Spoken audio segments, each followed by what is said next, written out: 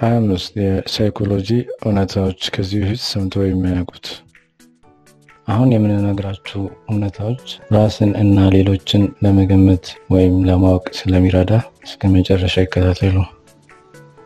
ከእነዚህም እውነታዎች ቁጥር 11 አዝናኝና ፈገግ የሚያስብል ስለሆነ በጉጉት ይጠብቁ። አንደኛ፣ ሴቶች በአብዛኛውን ጎርነን ያለ ድምፅ ያለውን ወንድ ይመርጣሉ። በዚህም ደግሞ ምክንያታቸው እንደ ወንድነትና በራስ የመተማመን ባህሪ ይኖራል ብለው ስለሚያስቡ።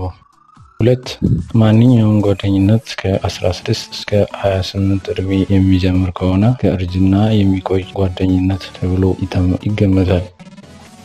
ሶስተኛ አንድ ሰው ብልጥ በሆነ ቁጥር በፍጥነት የማሰብ ችሎታ ይኖረዋል። በአብዛኛው እንደዚህ አይነት ሰዎች በተጨማሪ የእጅ ጽሑፋቸው የተንጋደደ ሆኖ ይስተዋላል። አራተኛ አንድ ሰው የምግብ ቤት ሰራተኞችን የሚይዝበት መንገድ ለባህሪው ብዙ ይናገራል።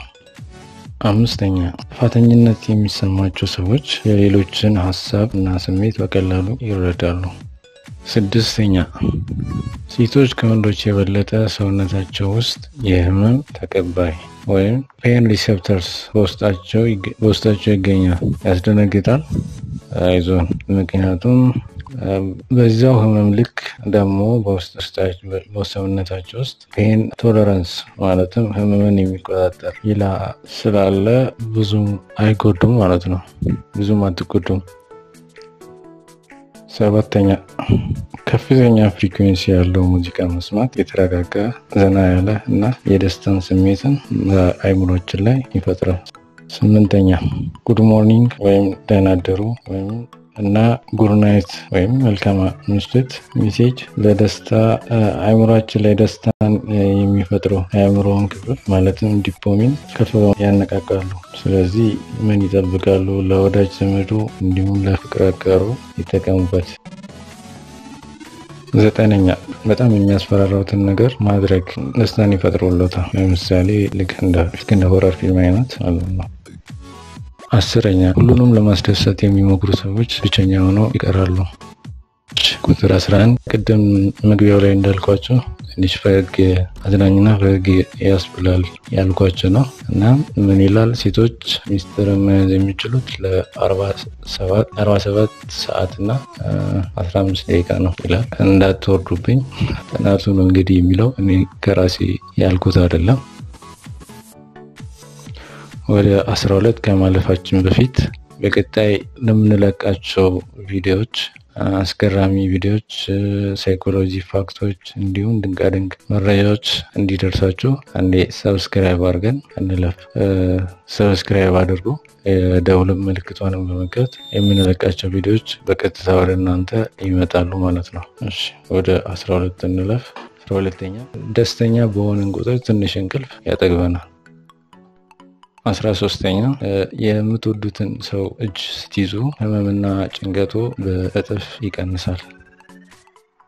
አስራ አራተኛ intelligent ወይም ደግሞ ባለ ምጡቅ አእምሮ ያላቸው ሰዎች ትንሽ ጓደኛ ነው ያላቸው ከ normal ኡ ሰው አንጻር ማለት ነው። አስራ አምስተኛ ሰዎች ብልጥ በሆኑ ቁጥር ሰዎችን የሚቀርቧቸውን ሰዎች ይመርጣሉ።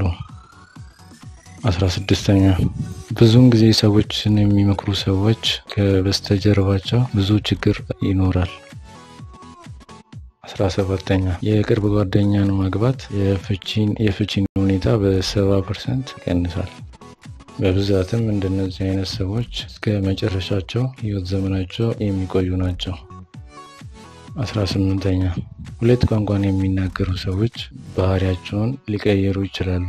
እንዴት ከተባለ ምክንያቱም ሁለት ቋንቋ ስለሚናገሩ። አስራ ዘጠነኛ ብዙውን ጊዜ ብዙውን ጊዜ ብቸኛ የሚሆኑ ሰዎች ከአስራ አምስት ሲጋራ ከሚያጨሰው ጋር እኩል ይሆናል ተብሎ ይታመናል። ሀያኛ ሁለት ሰዎች በሚያወሩበት ጊዜ እግሮቻቸውን የሚያንቀሳቅሱ ከሆነ ያለ መግባባት ስሜት እንዳላቸው ይታመናል። ሀያ አንደኛ መስታወት ፊት የሚያወሩና ራሱን የሚያበረታቱ ከሆነ እርስዎ ጠንካራ አእምሮ አለዎት ማለት ነው። ሀያ ሁለተኛ የሰዎችን አይን አይን እያየን የምንናገራቸው የራሳችን ሚስጥሮች ሰዎች ወደኛ እንዲሳቡ ያደርጋቸዋል።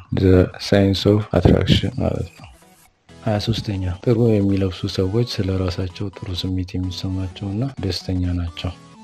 24ተኛ አንድ ሰው እናንተ ፊት ራሱን ካስተካከለ ያ ሰው ይወዶታል ማለት ነው። 25ተኛ ሴቶች ከወንዶች ከፍ ያለ ህልምን ያያሉ።